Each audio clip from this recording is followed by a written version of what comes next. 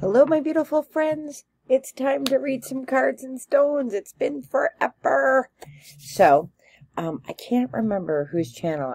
Maybe Mama's channel. Could have been Misty's channel. But anyways, uh, I think it was Misty. I'm not sure. If you know who you are, tell me. Somebody did a um, card uh, playthrough for Rebecca Campbell's Ancient Stones Oracle. And I, I typically don't buy a lot of cards anymore because I kind of have the ones that I always use. Um, I do like uh, Rebecca Campbell's artwork. Um, I think her artist is named Katie Louise, and um, I just like the color palette that Rebecca uses. And um, and I have other cards of hers. They they don't really resonate with me, but I am a stones person. I am a standing stones person, and um, you know, I just I, I really love the the walkthrough that I I think it was Misty think it was Misty, um, that she did. So I'm not going to do a walkthrough. I'm actually going to show you how I prepare cards, and I am going to do a reading with them. So I have some incense here that I'm going to light with my Scottish candle that I just got, and just happens, you know, to be that the theme for the candle, or the theme for the wee box was uh, Outlander and Standing Stones. And, um, so I've lit some incense and I am going to just pass the cards through the incense to sort of, you know, just, you know, bless them, clear their energy.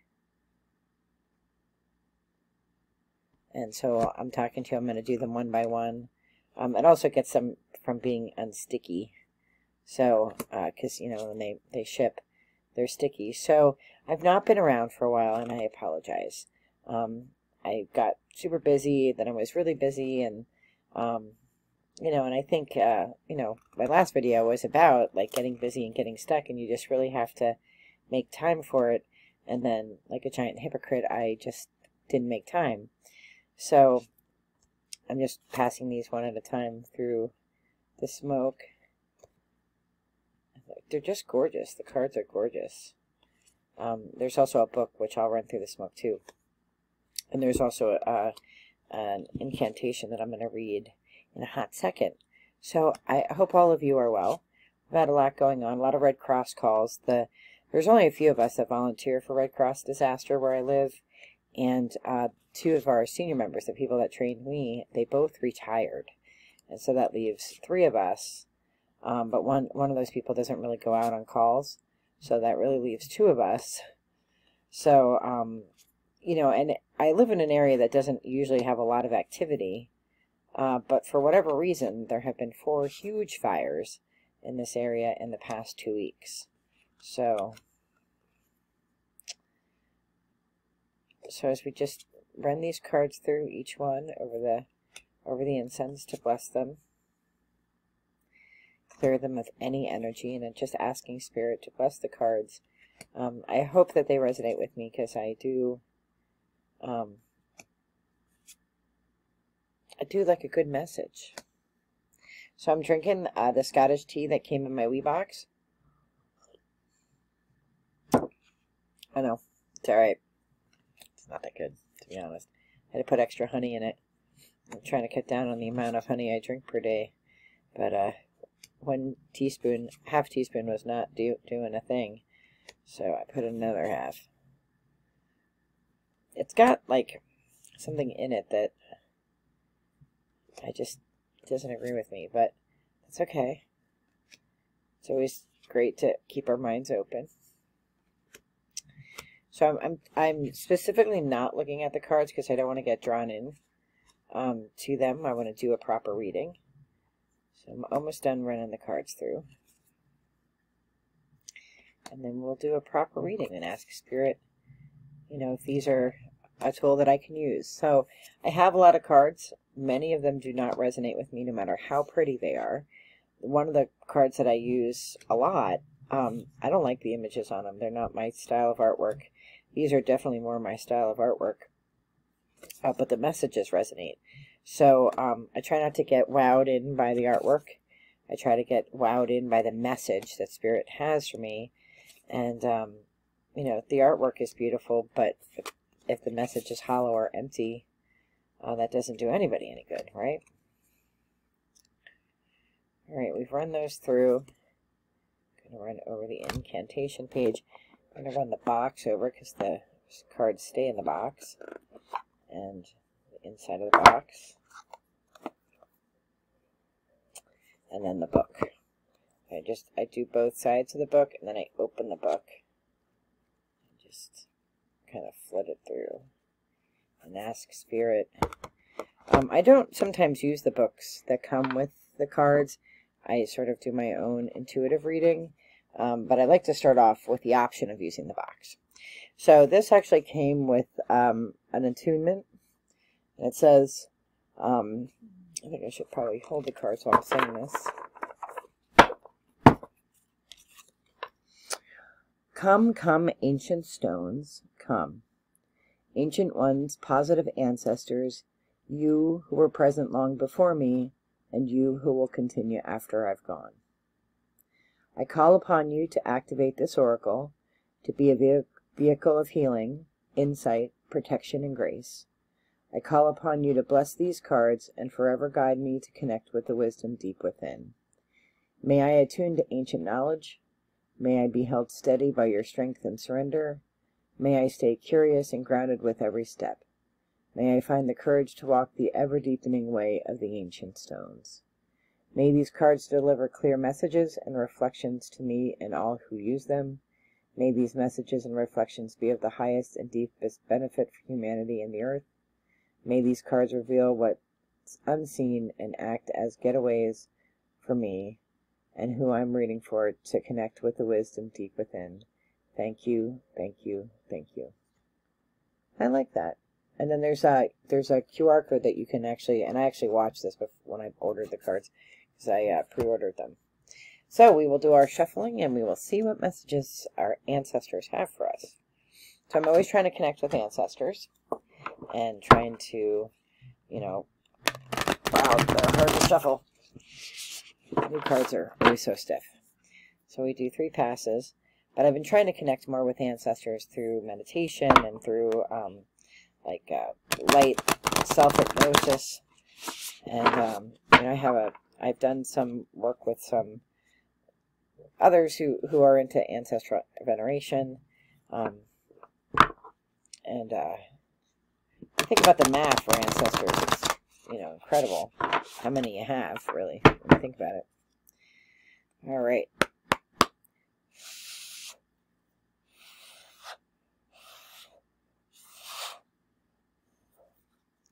All right, let's see what comes out, shall we? Just asking Spirit for guidance. Let's pass one. Pass two.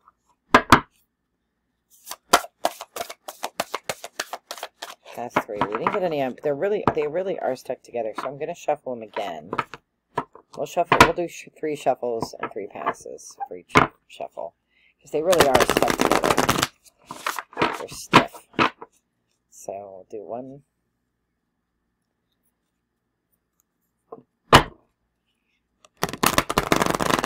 Two. Kind of have to like, work the cards to get them moving a little bit. They're stiff.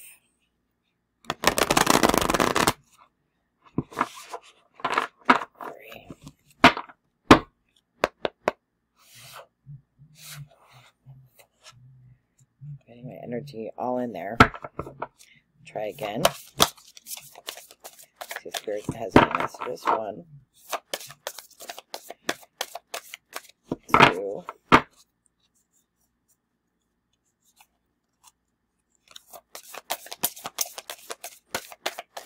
Three. Okay, nothing on that. Another three passes. We'll do it one more time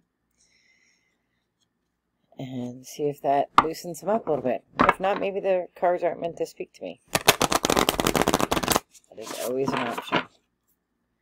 One.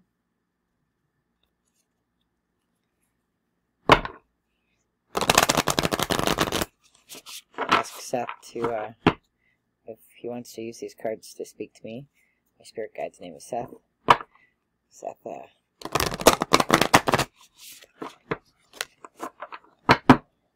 don't know if that was two or three. I think that was three. All right. pass them through the smoke again, see if that helps. Oh, what a workout that was for my arms. All right, Seth, any messages? This one. Nope. got one. Two.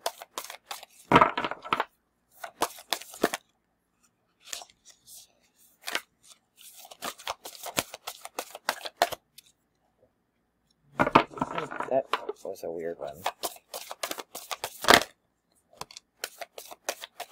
Alright, there we go. This code came out together. This one came out, and this one popped out.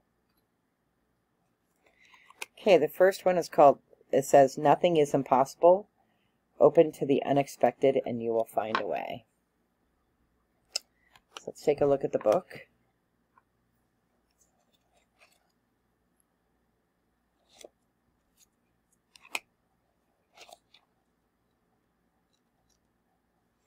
Hoping they're in alphabetical order. Okay, they are. Thank God. Open to the unexpected, you will find a way. Sometimes paths appear in the most unexpected places. Barrier, barriers that we previously believed were in our way suddenly roll away and assist us upon our journey. Obstacles that we thought were stopping us from pro progressing create holy detours that lead us to an unexpected destiny. This is that card in the deck, the one that encourages you to turn your gaze upward and believe in the impossible. Things will likely not turn out the way you thought they would, or even the way you would have hoped. However, in the end, it's possible they will turn out even better than you could have imagined. Many faith paths urge us to embrace life's changes and trust that if something is for us, it cannot be taken from us. For our destiny, when embraced, is written in stone. If life hasn't been going to plan, fret not, because things are being woven on your behalf. Your path and desires haven't been forgotten. You're just a little different from what you thought. Have faith, trust, and an open-minded heart. You'll find a way through through it, and in a day not too distant, you'll see how life has been unfolding for you every step of the way. And the ancient stone activation. I open my mind and heart to the unexpected. Everything's working out on my behalf. So on the card, she's, uh, there's like mountains and there's like a hole in the middle. She's kind of standing at the edge of the water. And I, and I, I thought it reminded me of uh, a time when I was hiking, which actually was two years ago this week. When I was hiking with, um, with a group of friends on the AT and we were in this thick, thick wood and it just opened up to this amazing, beautiful field we were all hot and overheated, and it was just the most beautiful sight. Like, I can't describe it, but it was just like the forest was so dark, and the rocks were so hard, and then all of a sudden there was this beautiful field, which I really needed at that very moment. And so we often don't know what's through the thick. You know, and that's what that reminds me of. So I will have to journal about what I think that means in terms of my life. Then we have stepping stones and see the beauty.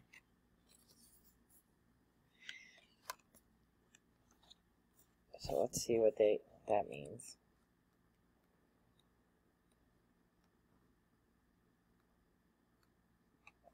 Take the next step, simplicity focus. Even the greatest journeys start with the first steps. A step here, a leap there, and eventually a path appears. Nothing is ever wasted. Every experience you gain along the way forms who you are and the story of where you've been. The Stepping Stones cards reminds us that we don't need to know every single step of the way. It reminds us that no matter how much we try to plan, there are unexpected things that occur. If you spend your time in trying to avoid these obstacles or missteps, if you strive for perfection before any motion, you may never leave the comfort of where you already are. Growth doesn't always feel comfortable. In fact, it's when we're uncomfortable that we'll like to know we're stretching and growing. This card wants you to know that there are times for great planning and times to proceed ahead. This is the latter. A time of choosing the right next step over procrastination, a forward movement over strategy. Put one foot in front of the other and trust that when the time comes to take another step, you'll know just what to do. Soul inquiry. What baby step are you being called to take today in the direction of your dreams? I Like that she's relying on some Henry David Thoreau quote right there. And that's partnered with See the Beauty. Gratitude. The sacred is everywhere. Stones are often so stones are so often overlooked. The bones of this earth are often truly not appreciated for their infinite variety and beauty. But if you look at the stones a little more closely and all the other beautiful things around you, you'll find that you can be transported into a state of awe any moment you wish. For those who have eyes to see it, this world is filled with never-ending beauty, and when we notice the beauty around us, we enter a state of appreciation and gratitude. If we awaken our hearts and turn our gaze upward, we discover that beauty is all around us. We're willing to take time to look for it, we'll discover the sacred is woven in all things, and the intelligent codes of life are within it all too. Soul inquiry. How can you take a moment to notice the beauty that's all around you? What blessings can you appreciate right now in your life? Hmm. The last one is, uh, I'm going to just look at these cards. Stepping stones is a girl walking away. She's walking toward bright light. So she's walking into something gorgeous. And she's focused. If you've ever hiked on in a creek bed and you have to you have to really kind of navigate the rocks, you know, see the beauty. Sometimes you have to shift perspective to see something beautiful. Sometimes you have to like either back up or move to the side or get a lens to help you see it. All right, retreat, the cave, timeout, self-care, slow down. Right, the cave. Uh,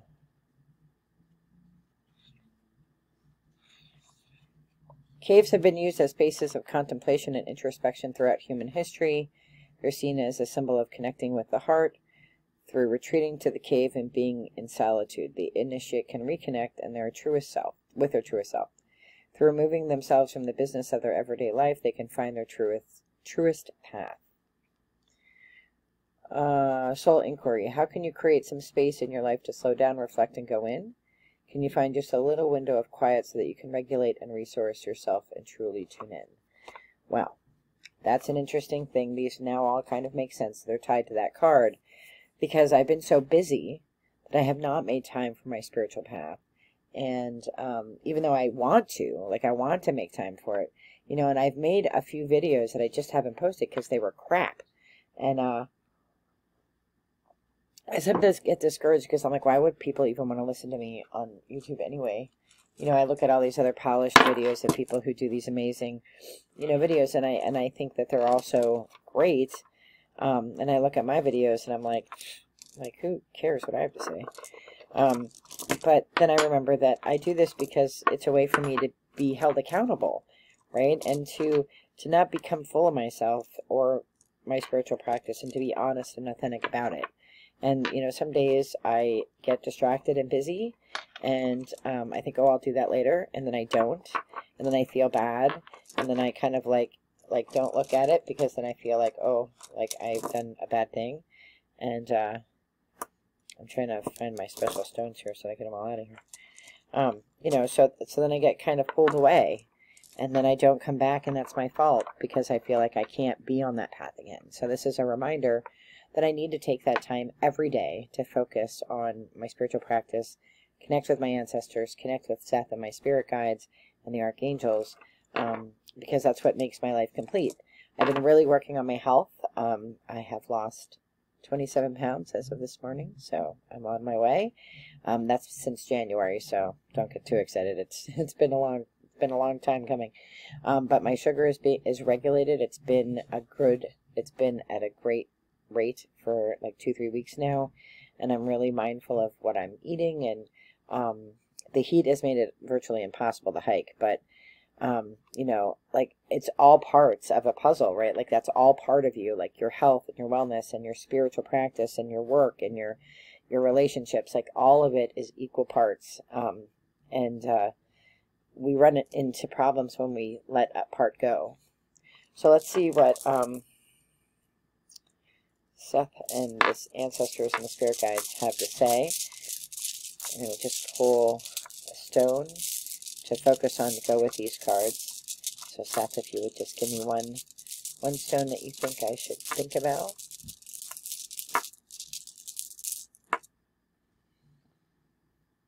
Gebo, gift. So Gebo is all about gifts and all about recognizing all the gifts that you have. Like, you know, it, it was a gift that I was I've been able to focus on my health and really do a better job of taking care of myself. I take care of everybody else, but I don't often take great care of myself. So that's been a gift. And, and Dave's health scare, he was in the hospital for a kidney stone. It is, there is no wonder to why women have the babies, let me just say. Um, but it was scary because we didn't know what it was at first, and, and I, I thought he was dying. He thought he was dying. So, um, so I think, uh, you know, you know, I'm, I'm really good at taking care of other people, but I have to take care of myself, and taking care of myself is my spiritual practice, and I have to be here on YouTube because that makes me accountable. I have met so many great people, my sisters out here. I'm so sorry. I'm, I'm catching up on videos, um, unboxings and things like that. And, uh, and, uh, and, and, uh, I really do enjoy watching my sisters' videos. Uh, they come from all different practices and I learn so much. And, um, they are a gift to me. And when I don't, oh, purge when I don't watch the videos and I don't participate in our community, that's robbing myself of the gift of their friendship and sisterhood.